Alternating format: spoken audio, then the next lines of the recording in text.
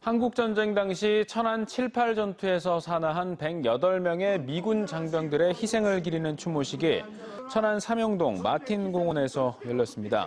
마틴 대령이 이끄는 미 육군 24사단 34연대 장병들을 추모하는 행사에는 박상돈 천안시장과 미 육군 그레이브스 대령, 보훈단체 등이 참석했으며 박 시장은 이들의 희생 위에 눈부신 번영을 이룩했음을 잊지 않겠다고 추모했습니다.